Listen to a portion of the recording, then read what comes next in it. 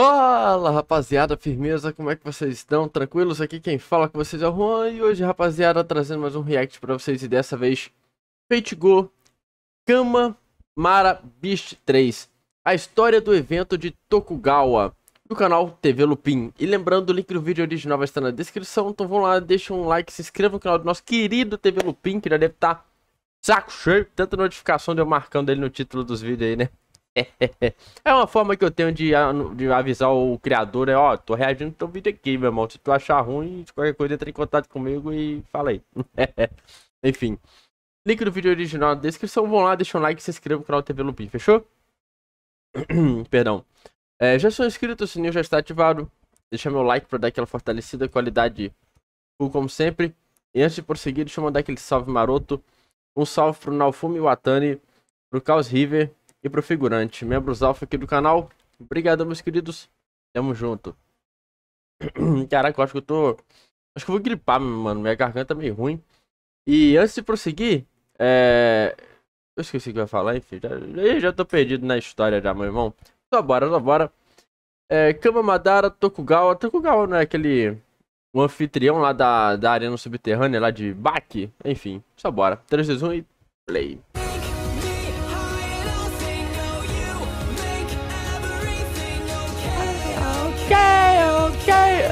Essa música é do caralho, meu irmão. Essa música eu acho que é My Demons, não é? O nome dela?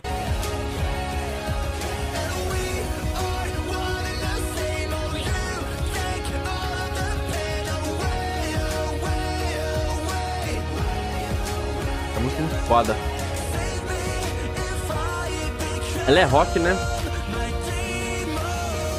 Não essa versão aqui, aparentemente, sei lá. E aí, cavaleiros? E aí, meu como querido? Vão vocês? Como Tranquilo? já tinha prometido, e trazendo aqui um pedido de vocês, eu vou falar de Kamamara. Sim, essa Sakura seminua que já me pediram algumas vezes, e que é capaz de dar problema. Que personagem não é seminua aí, velho?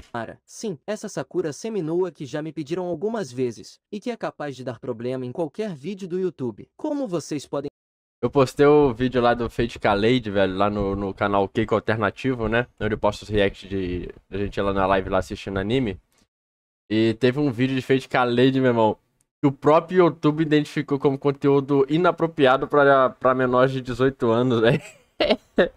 Aí o vídeo tava só pra mais 18. aqui um pedido de vocês, eu vou falar de Kamamara. Sim, essa Sakura seminua que já me pediram algumas vezes, e que é capaz de dar problema em qualquer vídeo do YouTube. Como vocês podem ver, vocês sempre facilitam a minha vida, mas isso não importa. Como eu sempre É. digo, é tudo pelo bem do país. Agora faça a sua parte. Isso aí, Deixe o seu like, se inscreva pelo bem do canal e venha fazer parte da nossa tábua redonda. Sua presença é mais que bem-vinda. Não vou ficar me prolongando muito na introdução, porque eu tenho bastante coisa para falar. Então, só vem comigo que eu vou te contar tudo.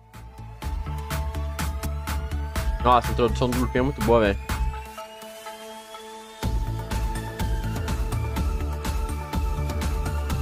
Conhecida como Kamamara, essa é uma personagem da classe Beast, e que evidentemente tem a aparência da Sakura. Eu sei que tem um armanjo que está olhando para esse corpão e pensando besteira. Pode parar por aí, eu já avisei que eu tenho clarividência rank excelência.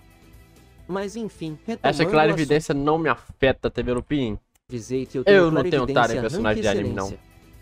Mas enfim, retomando o assunto. Kama na verdade é conhecida como a Beast 3L, e a razão pela qual ela é classificada como L é porque ela é a contraparte da personagem Kiara, que é classificada como a Beast 3R. As letras presentes nas suas classificações Ah, eu conheço a 3L, significados. já No vi. caso de Kama, o significado é o mesmo que corrupção. Essas classificações presentes nas duas Beasts também têm um significado pessoal e individual. Kama, por exemplo, é a personificação do narcisismo que preenche o universo com o seu próprio amor. Para que você entenda isso, ela é a encarnação do amor pelos outros, aquela que esgota o universo ao direcionar o amor para toda a humanidade. Ela é uma deusa sádica e opressora, e sua fala e ações desprezam desprezam a humanidade. No entanto, ela é capaz de amar qualquer coisa, e com isso degenerar em luxúria. Simplificando tudo isso, o amor dela não é pensando nos outros, pois a natureza de Kama amar é bestial. Portanto, o intuito do seu amor é se afogar nele e ser corrompido por ele, e ainda usar esse mesmo amor para corromper. Em outras palavras, galerinha, ela usa uma espécie de amor maligno, se é que isso possa ser chamado de amor, e assim corromper os outros. Mas enfim, originalmente, uma parte do espírito divino de Kama se emprestou a forma de um humano, e acabou se manifestando como um pseudo-servo em Fate Grand Order, e e uma curiosidade é que antes disso, Kama não era uma divindade feminina. Eu falo grande a ordem, A razão véio. dele ter sido reencarnado com esse gênero é porque ele acabou sendo atraído pelo lado maligno do corpo de Sakura.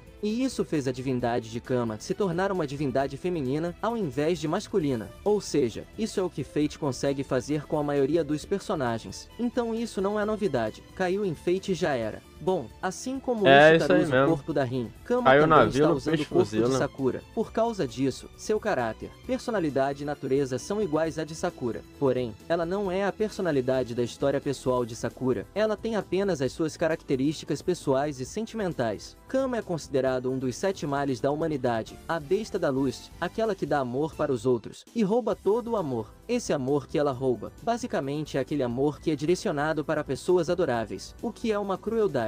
Sendo a besta do amor e do prazer, ela é descrita dando amor a todos, o que é diferente da sua contraparte Kiara, que recebe o amor de todos. Essa é a principal diferença hum, entre a Beast L e a Beast R. Kama dá amor e Kiara recebe. recebe o amor. E como Kama é a deusa do amor, o seu lado forte está em ser capaz de amar qualquer pessoa, não importa como essa pessoa seja. Sua personalidade é parecida com a personalidade da Shiki, bastante contraditória. Ela é capaz de amar a todos menos a si mesma, mas ao mesmo tempo, ela odeia todos e ama a si mesma. Acho que agora é a hora do nosso velho meme. Que viagem é essa, véi? Por causa disso, Kiara declara que essas diferenças significam que elas não podem se associar como amigas. Então, se o seu plano era montar seu time com Kiara na cama.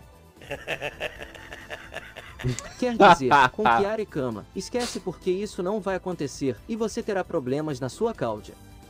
Eita, pô. Bom, ainda sobre as características de Kama, além de ser considerada a deusa do amor, ela também é considerada a deusa dos prazeres carnais. Se você pensou besteira agora, é isso aí mesmo. O maior intuito de Kama é corromper, usando todas as formas de amor. Isso também inclui prazeres carnais. Com isso ela pode corromper e destruir por essa corrupção. Além disso, também é contado que há muito tempo atrás, enquanto Shiva estava em plena meditação... Desculpa falar, disso, mas como é que pode ter um peito assim onde a pessoa parece um espeto, velho? Também é contado que Lembra muito, muito aqueles peitos do, do, dos personagens é, antigos, tá ligado? Videogame, tá ligado? Quando ia, eles iam fazer a mulher, botava aquele peito assim, igual uma pirâmide pontuda assim, cara. Aí, pode corromper e destruir por essa corrupção. Além disso, também é contado que há muito tempo atrás, enquanto Shiva estava em plena meditação, Kama teria atrapalhado e perturbado seu estado de concentração. Por causa disso, Shiva incinerou Kama com seu terceiro olho, que é dito ter um poder imensurável e que é capaz de queimar todo o universo. Esse ataque queimou o conceito de carne do deus Kama, e com isso ele se transformou em algo vago e nebuloso. Na mitologia é contado que quanto mais poderosa é uma divindade, maiores serão as ramificações de suas ações. Então, visto que Shiva deve incinerar o universo, e ele acabou incinerando Kama, agora a própria Kama pode ser considerado o universo. E por causa disso, ela e o universo estão fundamentalmente ligados em um nível Caraca. conceitual. Em circunstâncias normais, isso teria sido demais para qualquer deus comum lidar, mas Kama não é uma deusa comum do amor.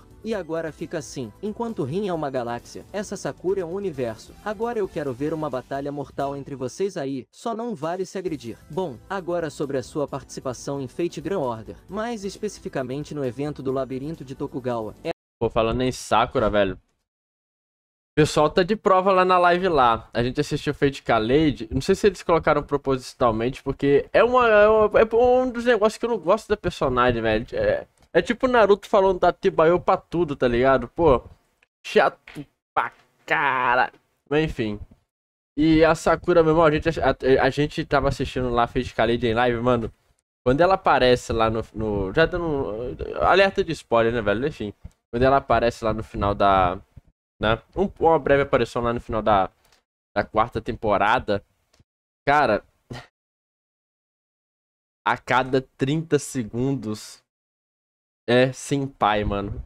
Tudo ela falava sem pai. Pô, tem hora que ela fala senpai cinco vezes em menos de dois segundos, velho. Tô brincando, é exagero também.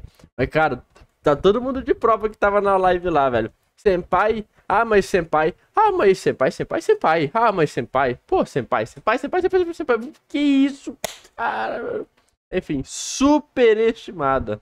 Ver uma batalha mortal entre vocês aí, só não vale se agredir. Bom, agora sobre a sua participação em Fate Grand Order, mais especificamente no evento do Labirinto de Tokugawa, é a seguinte, como Kama estava usando o corpo de Sakura como recipiente, a presença de Mara, que está dentro de Kama, tornou-se mais forte, e por causa disso ela começou a se transformar em uma besta, graças à morte de Kiara. Com esse evento, a fim de evitar que a Counter Force detectasse a presença de uma besta, no caso ela mesma, Kama procurou um lugar para se esconder enquanto sua transformação era concluída. E antes que vocês me perguntem, sim, as fases de Kama como uma Loli, adolescente e Beast, na verdade são transformações anormais no seu Centigraph. No caso, quanto mais se aproxima do seu estado Beast, Kama vai evoluindo tipo um Pokémon, passando por diversas transformações físicas no processo. E eu sei que você queria ter esse Pokémon com certeza. Então, após finalmente encontrar o Oco no Virou um Castelo pavão, Diego, é. ela acabou estabelecendo uma câmara pessoal dentro do oco. Após isso, Kama convidou Iemitsu Tokugawa a se deliciar com a sua carne, e ele se deliciou com a sua carne até se esquecer de tudo. E aqui foi o seu grande passo para dominar o oco, pois fazendo Iemitsu esquecer de tudo,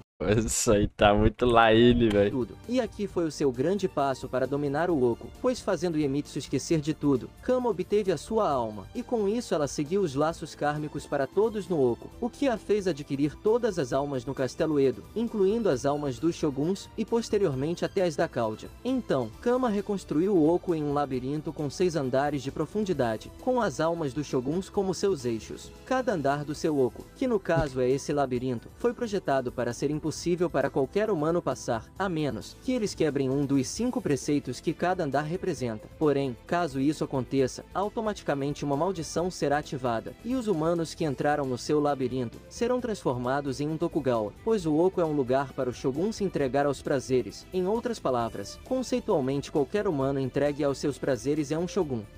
Em outras palavras, conceitualmente qualquer humano O cu da cama. Entregue aos seus prazeres é um shogun. Bom, continuando a história. Após criar o seu labirinto, Kama conectou o Oco a ela, e como a sua existência está conceitualmente ligada ao universo, o Oco é uma recriação do universo em seu próprio corpo. Daqui para frente, o intuito de Kama era corromper Hitsuka Fujimaru, usando os cinco preceitos estabelecidos nos andares do seu labirinto. Então, no momento em que Kama atinge o primeiro estágio de seu crescimento como uma besta, após a chegada do grupo de Fujimaru na câmara interna do Oco, Kama acaba tendo uma discussão com sua contraparte Kiara, o que posteriormente veio a culminar na morte da mesma, pois Kama acabou se enfurecendo com ela. Essa desavença entre elas aconteceu exatamente por elas serem opostas. Kama quer que seu amor se espalhe para todos no universo, e Kiara enxerga isso como a destruição do verdadeiro conceito de amor. E então, essa diferença entre elas acabou matando a freira, que também gosta de prazeres carnais só para constar. Ai, que delícia! Bom, tendo apagado Kiara, Kama acredita que ela não será mais um incômodo e declara que terá sucesso onde Kiara falhou. Então, ela diz a Nobutsuna que Hitsuka não tem escolha a não ser retornar, já que ela ainda mantém todos da Cláudia como reféns, incluindo Goredolf, que foi pego pela maldição dos cinco preceitos. No entanto, ao retornar, Hitsuka retornou com um escudo especial anti-Tokugawa, que pelo menos em tese, deveria protegê-lo contra os cinco preceitos. Porém, Kama acaba revelando que o escudo só é capaz de interromper temporariamente a corrupção, e por causa disso, a Tokugawa fixação de Hitsuka começa. Após isso, Kama acaba evoluindo para seu próximo estágio de crescimento, então ela remove a gravidade, deixando todos à deriva no espaço. No meio de todo esse cenário, Kama revela que cada estrela é ela mesma, e envolve o grupo em uma escuridão com o mínimo de oxigênio. Com isso, Kama tenta esperar que Hitsuka tenha um colapso mental, mas ela acaba perdendo a paciência. E no meio desse cenário, que estava quase que perdido para Hitsuka, uma luz surge no meio da escuridão. Então, Kama acaba escutando uma voz. Era uma personagem inesperada. Kazuga declarou no meio da escuridão que ela estava ali. Após isso, Kazuga acaba reescrevendo a definição do universo de Kama, e então estabelece a gravidade novamente, já que ela foi removida por Kama. E ao mesmo tempo, para ajudar ainda mais, o código místico usado por Hitsuka foi utilizado para restabelecer o oxigênio da área. E detalhe, embora Kazuga estivesse ali, antes disso ela havia morrido. A única razão para ela ter aparecido nesse momento é que antes da sua morte, Tenkai preveu a crise que ocorreria em Tokugawa, devido às ações de Kama. Então ele lançou um feitiço de proteção em Kazuga, para garantir que a alma dela não fosse usada como material para a construção do Oco da Kama. Além disso, os No órgãos de. Kazuga foi meio que transformados em cartas especiais, e essas cartas foram usadas para limpar a corrupção de Hitsuka, já que ele também foi afetado pela maldição. Mas aí você deve estar se perguntando: poxa, mas se ela morreu como ela apareceu nesse momento? Isso aconteceu graças a Parvati, que foi a última serva da Caude a ser revertida na singularidade. No caso, Parvati acabou resgatando a alma de Kazuga, permitindo que ela existisse em seu próprio Centigraph. Ou seja, Parvati foi a verdadeira heroína nessa singularidade. Agora com tudo estabilizado novamente, Kama acabou confirmando a suspeita que ela já tinha sobre um dos seus subordinados, no caso Nobotsuna. O espadachim acabou por revelar que ele era um agente duplo de Tenkai para proteger Ei, Tokugawa. que e isso, que ele cara? foi um dos agentes que garantiu a proteção da alma de Kazuga. Kama acabou ficando surpresa em saber que Nobotsuna ajudou a proteger a alma de Kazuga, embora ela já soubesse que ele era um traidor, e que era ele que estava criando as cartas para a festa de Hitsuka. A única razão dela ter mantido Nobotsuna por perto. Foi porque ela queria ver a cara dele quando todo o seu trabalho não chegasse ao resultado esperado, mas para a frustração de Kama, ele conseguiu seu objetivo, embora tenha acabado morto. Sim, meus caros, após suas revelações, Nobotsuna acabou sendo morto por Yagyu para libertar a sua alma, pois ela tem o conceito de deter o conceito de alguém cujas ações se opõem a Tokugawa, graças ao feitiço de Tenkai. Com isso, a falsa lâmina Muramasa, uma espada anti-Tokugawa, emerge do corpo morto de Nobutsuna, e Yagyu a pega com a sua mão. Agora, Kama fica literalmente com o seu Oku na mão, porque como o efeito dessa espada é ser uma lâmina anti-Tokugawa, Yagyu poderá matá-la, pois Kama, Tokugawa e seu Oku são uma só existência. Em outras palavras, destruir Tokugawa com essa espada seria literalmente destruir Kama. Então ela só teve uma opção, ela se desligou de Tokugawa e suas propriedades. Dessa forma Yagyu não poderia matá-la. Porém, ao fazer isso, a autoridade do Oku que antes pertencia a Kama é transferida para Kazuga, ou seja, ela se ferrou de qualquer jeito. Então, após todos que estavam ali atacarem Kama, Kazuga usa sua autoridade para expulsar Kama de dentro do Oco. E com isso, Kama começou a ser expelida no ar, e ainda por cima, ela acabou sendo atingida pelo fantasma nobre de Parvati. Caralho, o maluco é brabo.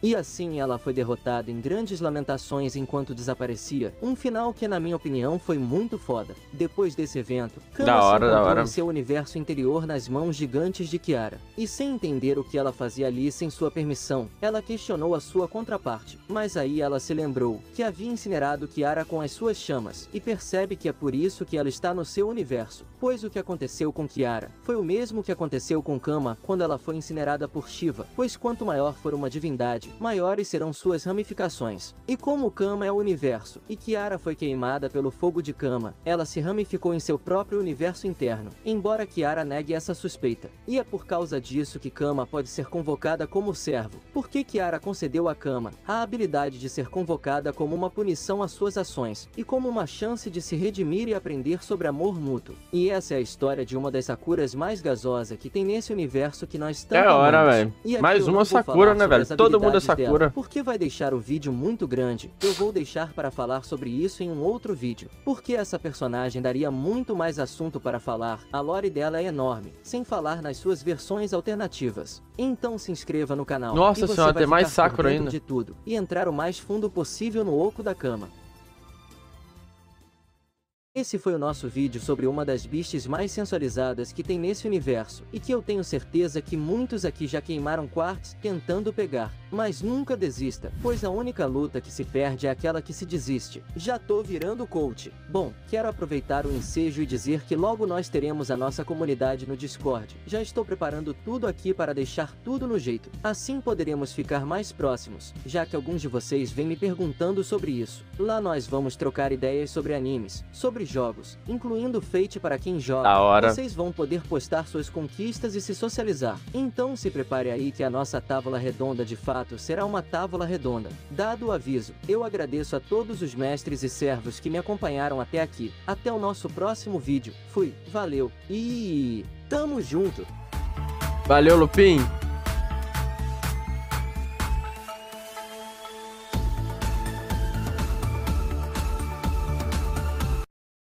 Cara, acho que eu tô gripando, velho. Cara, muito bom o vídeo. Então, conhecemos também a, a outra parte aí, né? A, a, a cama, né? E é. Beast, Kamamara, Beast 3 L, né? A história do evento em Tokugawa. Muito da hora, velho. Muito bom mesmo. Parabéns pelo vídeo, TV Lupin. E lembrando, rapaziada, link do vídeo original vai estar na descrição. Então vão lá, deixa um like, se inscreva no canal do TV Lupin. Ele merece pelo excelente conteúdo que ele traz aí pra gente. Fechou, rapaziada? Sensacional, muito bom. E galera, é interessante, confesso que tem muita coisa que assim, a gente ficou meio perdido no vídeo, porque eu também realmente não sei, né, muito a fundo. Eu não jogo jogos de Fate, então muita coisa eu tô, tô extremamente por fora, mas pô, dá, pra ver, dá pra ver que é uma personagem muito apelona, muito. Cara, interessante, da hora, né? E se essa versão aí ela não fica falando senpai o tempo todo, então toda hora. E o pior, sobre isso que eu tava falando lá no início, ela não tá nem falando com o Shiro, meu ela, com qualquer pessoa que ela tá conversando, ela fica falando senpai o tempo todo, não sei porquê. Enfim. Muito da hora, muito bom vídeo. Isso aí é assunto pra outra hora, mas enfim. sobre o vídeo aqui foi muito legal. E galera, vocês podiam me mandar o vídeo do Oco, velho. Que vai ser interessante saber mais, sabe? Enfim. Comenta o que vocês acharam aí. E vamos lá, deixa um like, TV Lupin e me manda mais vídeo do Oco, fechou? vou ficando por aqui. Um forte abraço, tamo junto. Valeu, falou. É nóis. Eu